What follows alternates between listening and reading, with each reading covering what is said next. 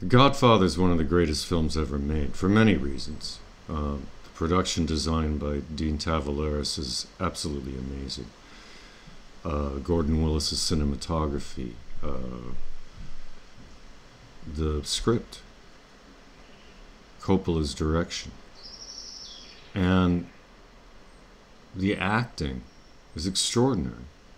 Every single character, even every extra, is is really quite extraordinary, down to the smallest detail. One interesting thing, though, is is Coppola had a very hard time getting the studio to agree to let Al Pacino play Michael Corleone. You know, for various reasons, at that point, Hollywood was still uh, very conventional in its tastes about leading men. Um, you know, they wanted a Robert Redford type or a Paul Newman type, even though this was a Sicilian family. And, and Coppola knew Pacino's work. The only really significant thing he'd done in film was Panic at Needle Park at that point, Pacino.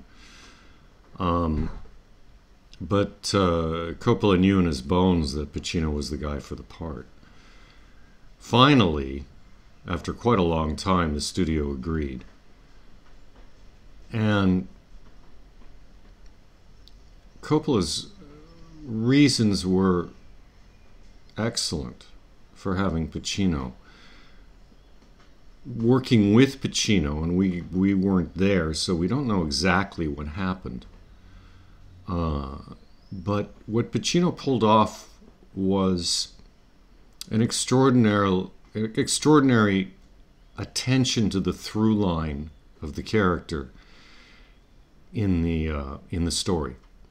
And what I mean by that is he went from point A where you see him come back from the war and attend his sister's wedding and with the the whole family and a thousand people at the wedding it seems uh young fairly innocent, um, kind of a, a, a good guy who has does not want any part of the family business of being in the mafia and ends up particularly at the end of at the end of part 1 of the godfather but also at the end of part 2 almost like richard nixon this grim middle-aged man who's had many people murdered and murdered a couple himself, and is absolutely adamant and extraordinarily controlling in his power over everybody in his life. This change is accomplished quite organically, scene by scene by scene. You can see if you really look for the moments where Michael changes. And yet, if you're just watching the film for the first time, you're not going to notice it as though you know the actor's doing it.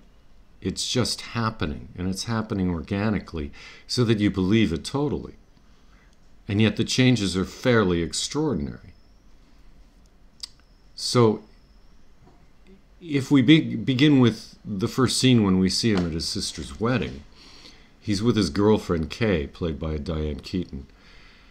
And she's not Sicilian. She's she's quite uh, waspy American, and uh, he's talking about his family. He's talking about his culture with her, seated at a little table at the side of the wedding, and she's noticing these strange people around, like Luca Brasi, the the family's hitman. Um, and he's explaining what's going on and who the people are to her. And he's a bit hesitant. He doesn't really um, open up yet. Michael? That man over there is talking to himself. See that scary guy over there? He's a very scary guy. Well, who is he? What's his name? His name is Luca Brasi. It's as though he's a bit conflicted about the whole thing or even embarrassed about the whole thing, and yet he does have a kind of pride in in his family in the in the power they have in their in their culture really and so you see a young man i wouldn't say exactly in turmoil but in a bit of confusion If he's your brother, why does he have a different name? Oh, uh, that when my brother Sonny was a kid, he found Tom Hagen in the street, and he had no home. And so my father took him in. And he's been with us ever since. He's a good lawyer. Not a Sicilian, but I think he's going to be consigliere. What's that? That's, um, like a counselor, an advisor. Very important to the family. You like your lasagna? He talks a little he starts to be more truthful. He starts to open up and talk about uh, the family and the business and so forth a little bit. He tells the story of the famous singer uh, johnny fontane who's uh, obviously supposed to be frank sinatra. Well, when Johnny was first starting out, he was signed to this personal service contract with a big band leader. And as his career got better and better, he wanted to get out of it. Now, Johnny is my father's godson. And my father went to see this band leader. And he offered him $10,000 to let Johnny go.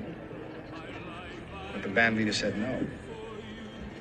So the next day, my father went to see him, only this time with Luca Brasi.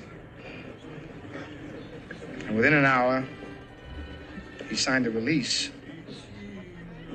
for a certified check of $1,000. How'd he do that?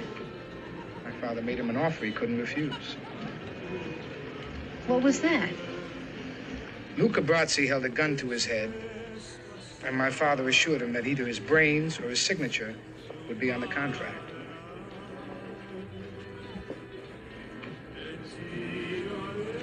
It's a true story. and michael says to kay this is my family kay. This is not me.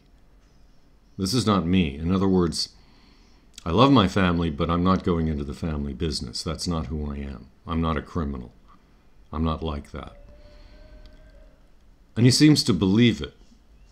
There's one thing that's balancing his mr innocent thing which i think it's it's pretty clear michael believes this that he's he's very set on becoming uh, on not becoming a criminal like the rest of the family but don't forget he's going to be dependent on the family's support because it he may go into politics he may go into the law he may go into something he's going to be a big guy in life in some way uh, but this is a bit vague at the moment for him. He just got back from the war. And one very important thing that's often overlooked, but that I think Pacino got very well, is that he was an army captain in the war.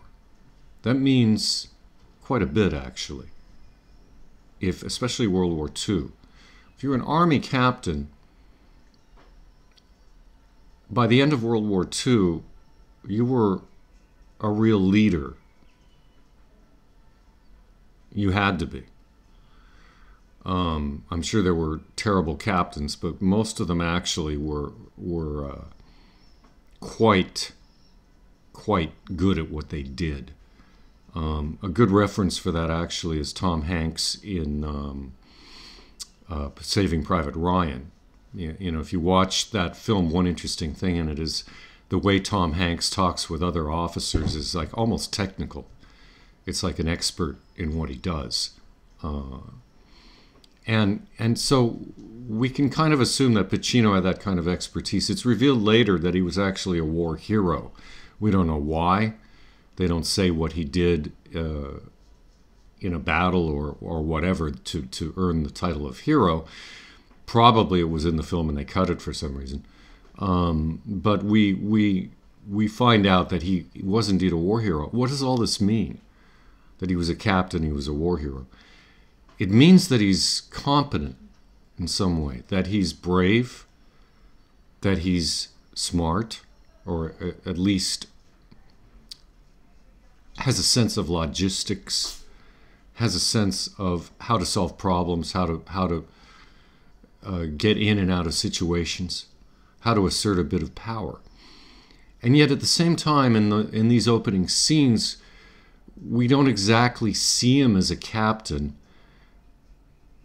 We see his uniform, and we see the captain's bars on his shoulders, and we think, "Oh, okay, he's trying to get back into civilian life, and he's it's a, he's a little bit of fish out of water, but here he is with this beautiful new girlfriend at the family uh, uh, reunion, and all right, so everything's a bit confusing for us, but also for Michael. And that's subtle. It's not a big deal, except it is a big deal because it's the beginning of saying who this character is in a transition, step by step by step.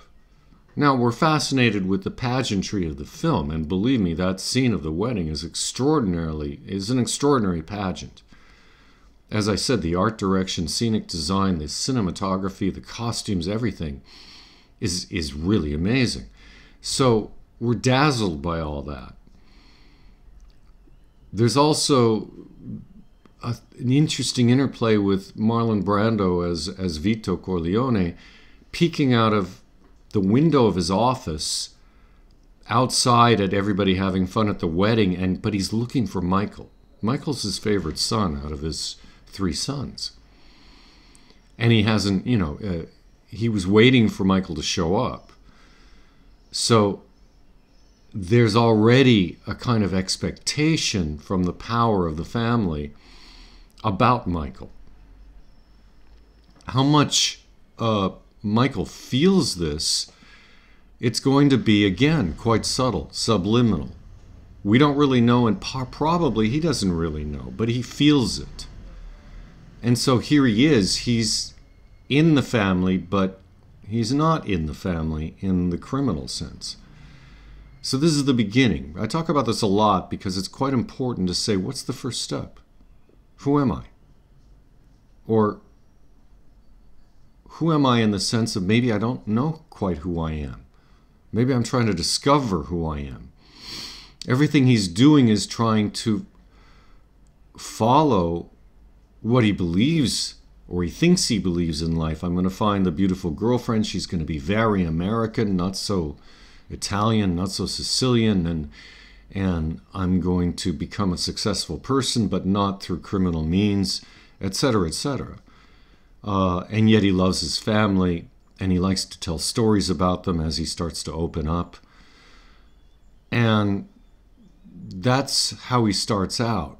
How he does it well, one thing that Coppola and the designers give him and the other actors is a lot of sense impressions.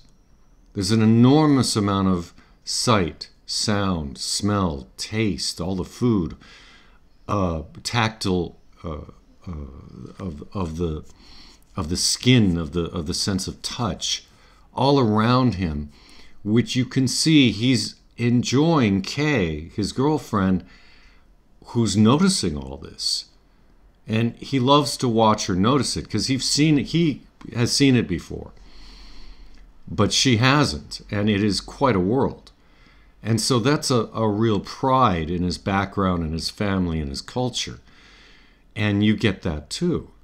Well, this is already an extraordinary amount of detail for an opening scene of for a character in a movie. Um, and that's how it begins. Then we move on, and things start to happen in the story after the wedding. Uh, and particularly when his father gets shot